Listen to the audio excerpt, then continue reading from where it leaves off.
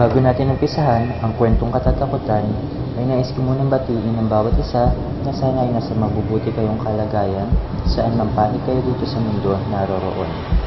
Nais ko na ipabatid na ang kwentong matutunghayan ay hangong mula sa totoong buhay at karanasan. Now with no further ado, let's start and be scared.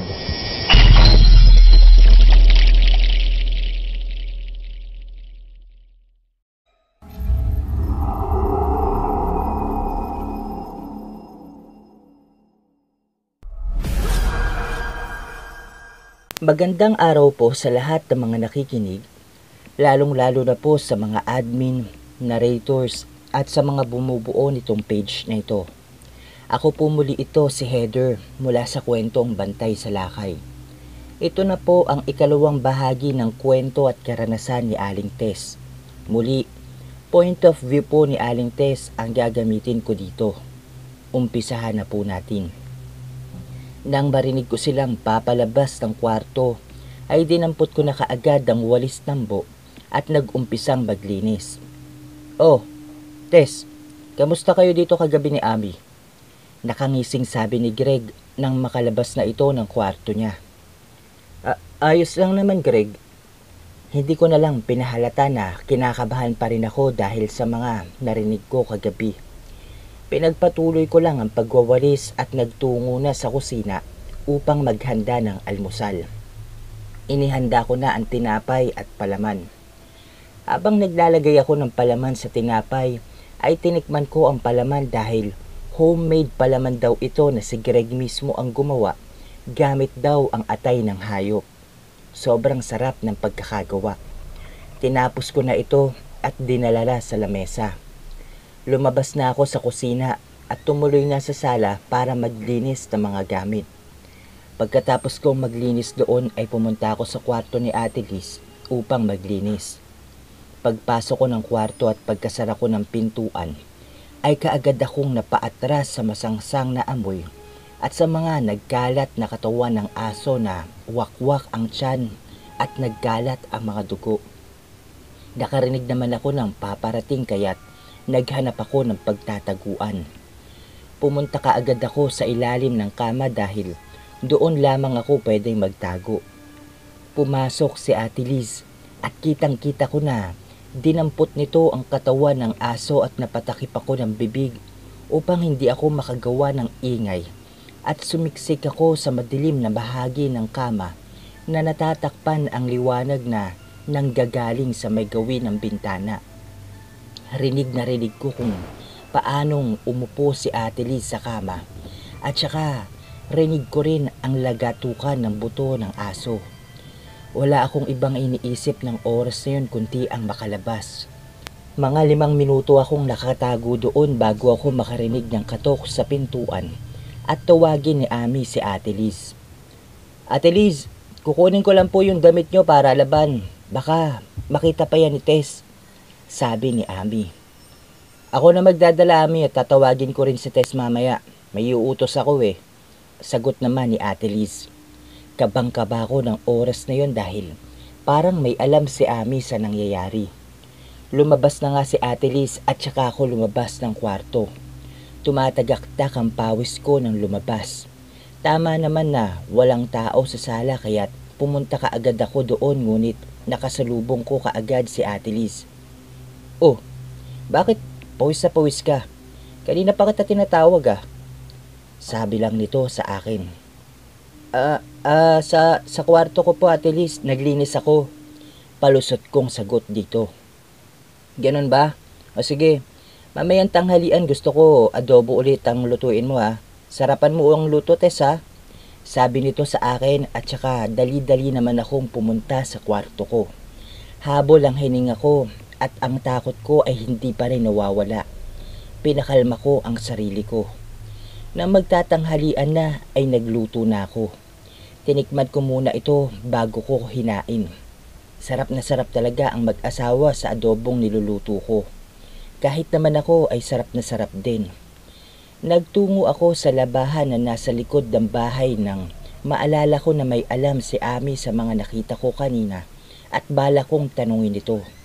Pero bago pa ako makarating dito ay nakaamoy na naman ako ng masangsang na amoy at saka ko nakita sa daluyan ng tubig ang pulang likido. Kaya naman, nagtago ako sa pader para hindi ako makita ni Ami. Sinilip ko ito ng bahagya at nakita ko itong kinukusot ang mga damit ni Greg at Ate Liz. Ang palanggana na gamit nito at ang laman nito ay kulay pula. Pagkatapos ay itinapon ni Ami sa agusan ng tubig. Sobra na akong naguguluhan sa nangyayari ng mga sandaling iyon. Kaya naman dali-dali akong umalis na may kilabot sa aking isip.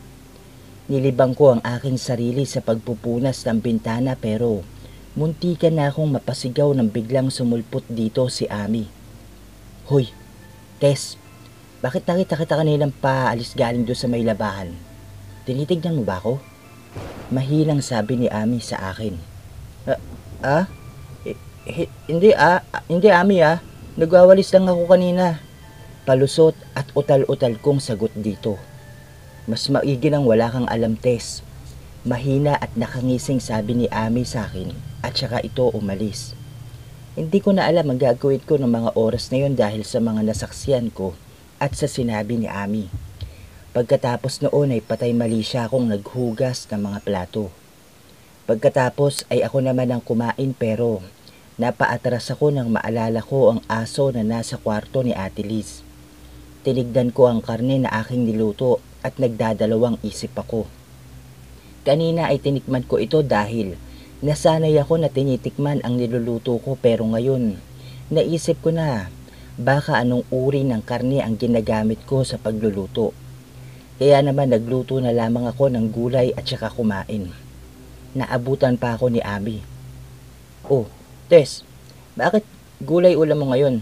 Di ba may niluto ka? Sabi ni Ami sa akin.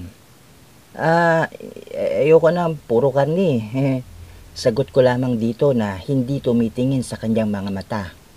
Hindi inaalis ni Ami ang tingin niya sa akin kaya nagpatuloy na ako sa pagkain at pagkatapos ay naghugas ng plato at nagtungo na ako sa aking kwarto.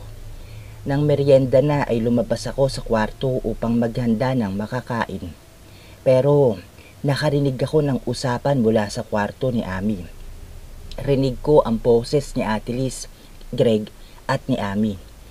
Nag-uusap sila kaya lumapit ako dito. Mag-iingat ka sa susunod, Ami, kung ayaw mong malintikan. Sabi ni Greg kay Ami at iyon lamang ang narinig ko.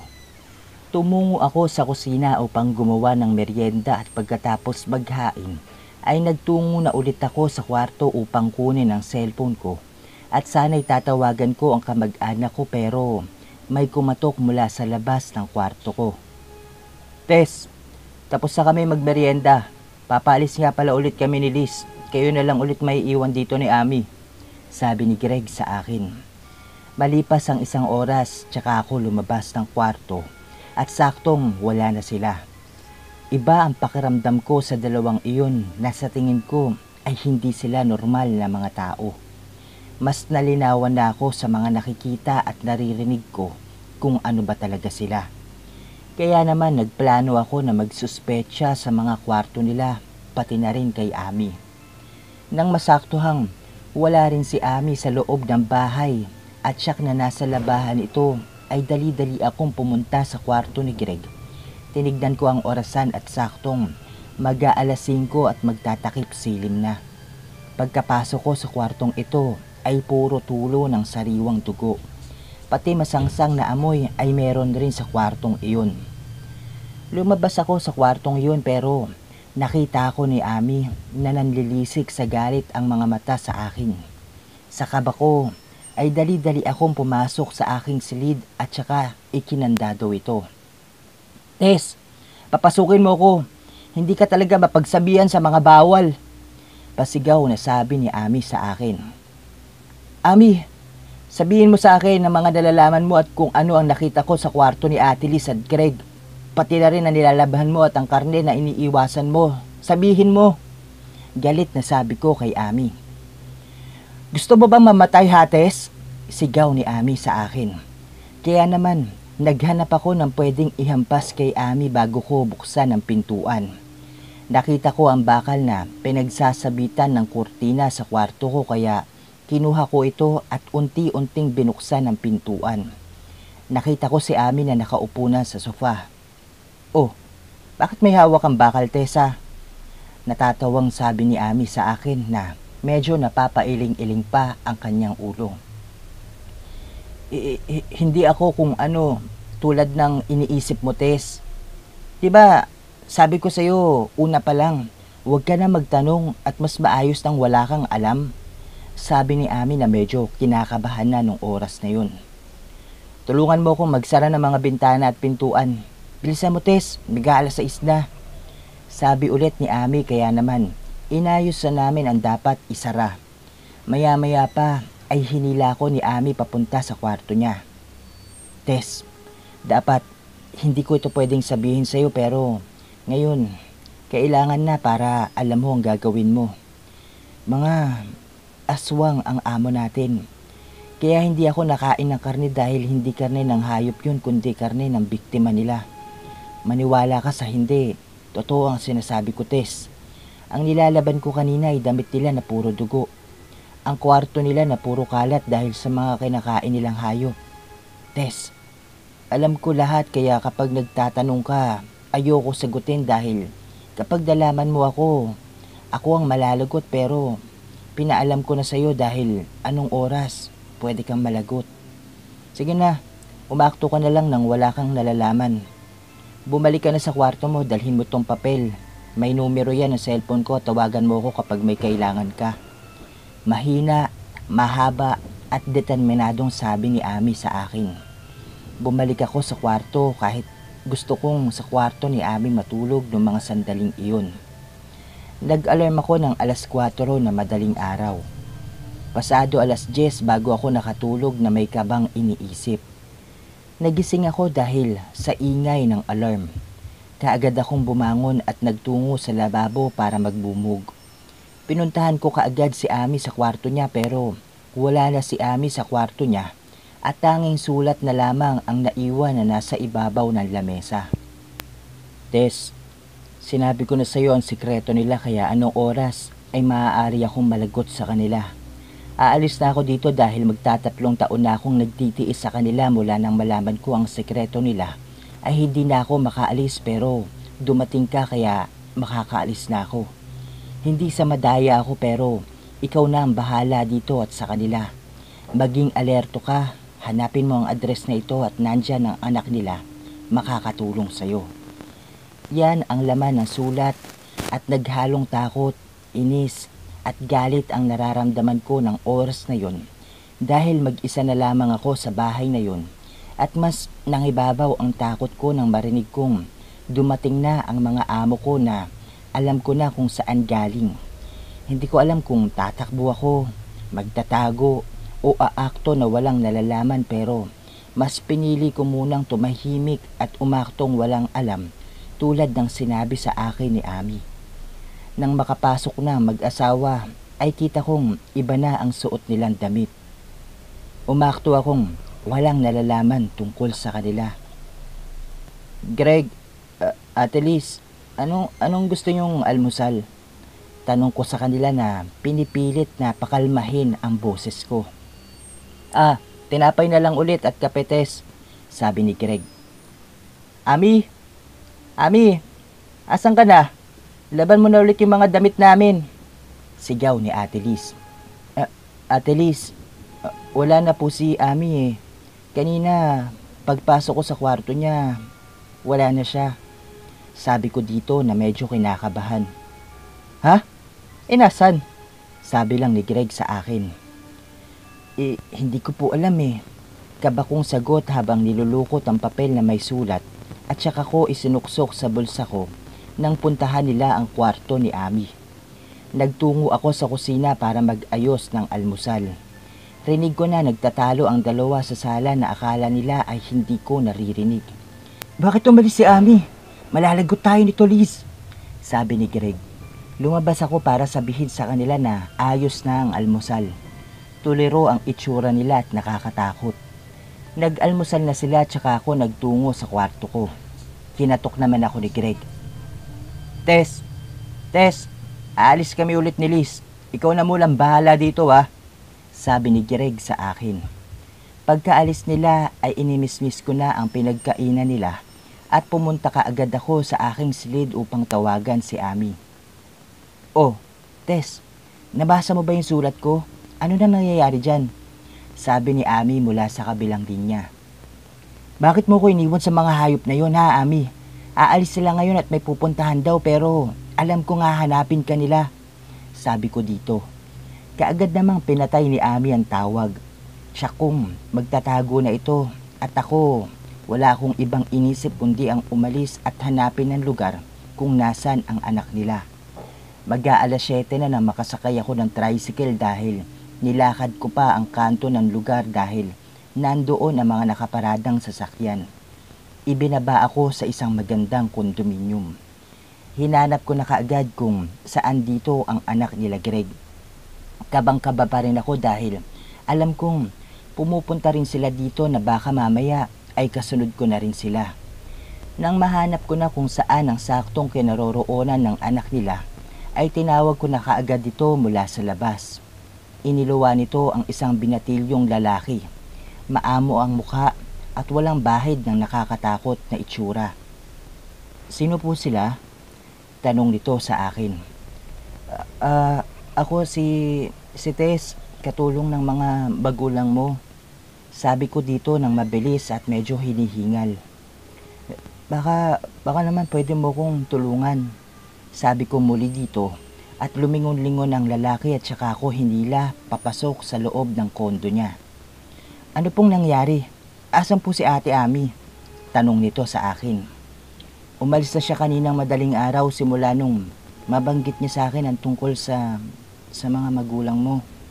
Mabilis at medyo alanganing sabi ko dito.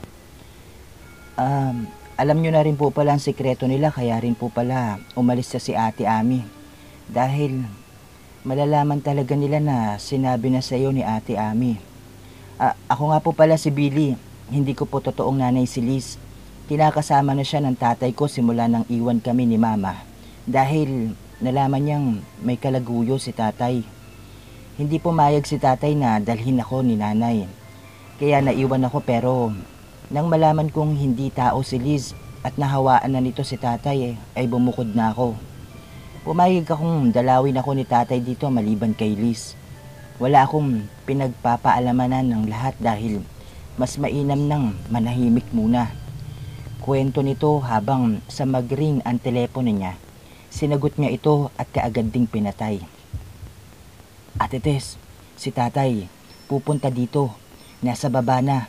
Magtago ka sa damitan ko doon sa kwarto. Dali-dali naman akong nagtago at pinigilang makagawa ng anumang ingay. Hanggang sa narinig kong dumating na si Greg pero ang ikinagulat ko kung bakit kasama si Ate Liz. Kung si Greg lang ang pwedeng dumalaw at mas ikinakabog ng dibdib ko nang magsalita si Greg. Anak, kamusta ka? Rinig kong tanong ni Greg mula sa sala. Kasama ko nga pala si Liz. Hinahanap namin si Ami eh. Bigla kasing umalis kaninang umaga eh. May nabanggit ba siya kung aalis siya? Tanong ulit ni Greg. Ah, wala tay. Bakit? Tanong naman ni Billy sa kanya. Maya-maya pa ay narinig kong may sumitsit at tumatawag sa akin na nagmumula sa isa pang closet na kaharap ng closet na tinataguan ko. Binuksan ko ng kaunti ang pinto ng tinataguan ko at nakita ko si Ami na nakatago rito at inilagay nito ang daliri niya sa labi niya at sumisenyas na huwag maingay. Magtatanong pa sana ako kung bakit siya nandito pero maya-maya pa ay nakarinig kami ng paparating kaya naman isinara namin ulit ang pintuan ng closet na tinataguan namin. Pinipigilang huwag makagawa ng anumang ingay at nagdarasal na sana ay abutan pa kami ng susunod na umaga. Sa ngayon, hanggang dito na lamang po muna. Sa susunod po ay ibabahagi ko ang ikatlong pangyayari o ang karanasan ni Ate Tess. Nasa sa inyo na kung maniniwala kayo o hindi pero ako, naniniwala ako. Sa part 3, ang ending, ibabagsak ko na doon lahat ng ikinuwento sa akin ni Ate Tess dahil baka hindi ko nakayaning makapag-type dahil sa daming order ng customer ko ngayong pandemic. Salamat po sa pakikinig at pagbibigay ninyo ng oras. Antabayanan nyo na lamang po ang kasunod na bahagi nitong kwento. Maraming salamat from Heather.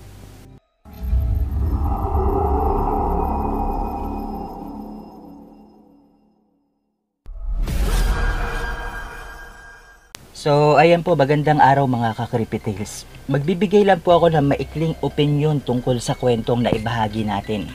Dito sa ikalawang bahagi ng kwento at karanasan ni Aling Tess. Medyo kinakabahan ako no dun sa nangyari kasi 'di ba pumunta nga siya dun sa bahay o dun sa kondo nung anak ni Greg. Baka kasi mamaya alam niyo na, syempre anak pa rin yun eh. O tatay o magulang niya pa rin yung ah, aswang. Baka mamaya ah, kasabwat siya tapos lalo pa silang mapahamak eh. Tapos doon pa lang sa um, kasaksihan di, ah, ni Aling Tess, una pa lang eh, ayun yung sinasabi ko dapat una pa lang nung mga naghihinala na siya o nakakakutob na siya na may ah, hindi tama, may weirdong nangyayari o may mga ah, naiisip siya na hindi normal, hindi simpleng tao yung sina Greg, si Liz, dapat hindi na siya nagtagal o kaya kapag umaalis sila Greg, si Liz, doon sa bahay na yun, dapat, ah, ano tawag dito, Ah, umalis na kagad siya eh. Hindi na siya nagpaalam kay Ami o hindi na siya nagpaalam o naghintay pa ng mga ilang araw bago pa magkagulo-gulo. ba? Kasi kung ako yung nasa kalagayan na yun, baka baka oras pa lang na makakita ko ng patak ng dugo doon sa kwarto nila Greg eh. Wala na, dead on the spot na ako. Alam niyo naman, medyo mat- matapang ako sa mga ganyang bagay. So, ayun lang. Pero gusto ko pang balaman kung ano yung nangyari o yung mga sumunod na nangyari dun kay Tess, kay Ami.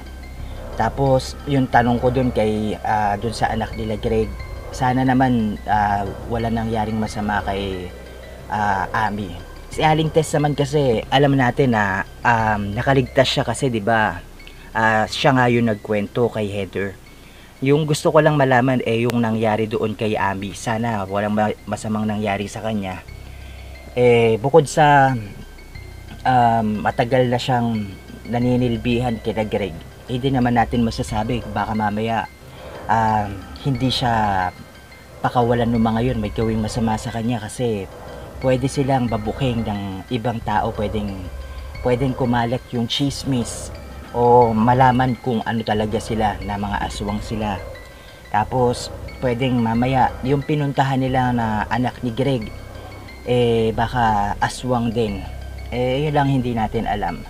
Malalaman po natin yan sa ikatlong bahagi nitong kwento. So, ngayon po, kung may mga suggestion kayo, may komento kayo, kung may tanong kayo, just comment down below po sa ating comment section. So, ayan po. Bago natin tuluyan tapusin ang video na ito, ay isang mabilisang shoutout po muna muli sa lahat ng mga nag-comment sa ating last update at sa ating mga new subscribers. Tulad po ng dati, babanggitin na lang namin ang inyong mga pangalan sapagkat nagre-reply naman po kami sa inyong mga bawat komento. Ayan, umpisahan na po natin. Shoutout po to these following people. Hello po kay Boss Jaymar Bellarmino, kay ah, kay Boss Jaymar Bellarmino ng Hong Kong na palaging ah, nakikinig, palaging updated dito sa ating PCT channel. Maraming salamat po sa inyo, boss. Hello din po syempre kay Miss RL Bardbook, kay Miss Alma Ibisate, kay Miss Minchin, maraming salamat din po sa inyo. Binabati ko rin po syempre si Boss Beltran Dale Jr., si Boss Sandro Continente, si Miss Elena Bonita, si Miss Jovelyn Trad, salamat po sa walang sawang pagsuporta dito sa PCT. Hello and shout out din po kay Miss Vanessa Apilat Calya, kay Miss Maria Fumoto ng Osaka, Japan na kasamang nakikinig ang kanyang auntie and cousin. Thank you po sa inyo and God bless. Uh, taker po. Uh, shout out din po syempre. Teka lang, nawala. Ayun, kay Miss Mary Acelor, kay Miss Elena Bonita, kay Miss Roda Rivera, kay Miss Alex Gail Villarreal, kay Miss Marites Guevara na palaging present sa mga ibinabahagi nating kwento. Maraming maraming salamat po. Keep safe po sa inyo Miss Marites. Uh, binabati ko rin po syempre si Miss Jude's Evening Star, si Miss Angelina Suzuki, si Miss Dimples Yumi, si Miss Teresa del Puerto, si Miss Marites Guevara. Ah, sana po patuloy nyo lang suportahan, tangkilikin itong ating Pinoy Creepy Tales channel. Siyempre, binabati ko rin po ah, si Miss Joanne o yung Haplos ng Nilig Channel. Isa rin po itong Tagalog Horror. Sana po suportahan ninyo, mag-subscribe kayo. Ayan po eh yung bagong channel ni Miss Joanne ako narrator natin dito sa PCT channel. Binabati ko rin po syempre si Boss Jan Reniel Zacate, si Boss Bobby Ungsweko na nakikinig mula sa Leverisa, Pasay City. Maraming maraming salamat po. Hello din po syempre kay Miss Sweet Lady Centeno, kay Miss Karen, ah, Karin Coliat, kay Miss Ellie Gonzalez, kay Secret Love and Life Confession. Ayan po yung um, channel nila ah, Miss Karin. Kung ayaw nyo po munang makinig o gusto nyo magpahinga sa um, mga kakata- ah, katatakutan, sa mga horror ah, stories, pwede kayo makinig sa Secret Love and Life Confessions. Ah, mga kwento sa buhay-buhay o buhay pag-ibig. Ayan, hello din po Siyempre kay Miss Urika Gail Saggal, kay Miss Loida Saragosa, kay Miss Jack Jackie G. Maraming maraming salamat po sa inyo.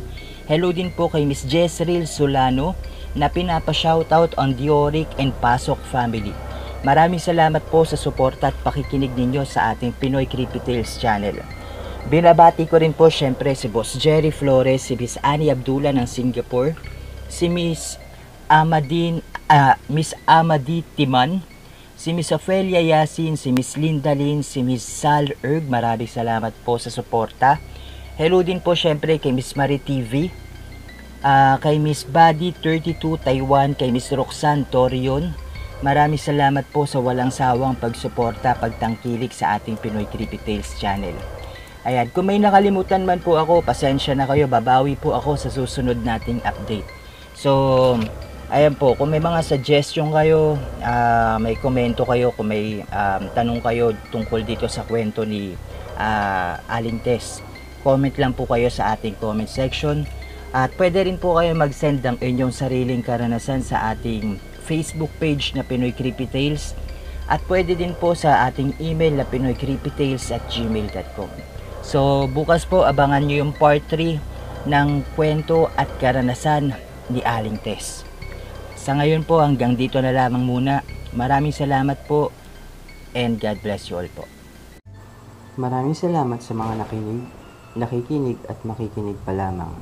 Nakalagay sa description box ang email kung saan pwede kayong magpadala ng mga nakakatakot na karanasan at kababalaghan. Huwag po natin kalimutan mag-subscribe, i-share at i-like ang video. Comment down below para sa mga shoutouts sa next video. Until next time everyone, happy creepy tales!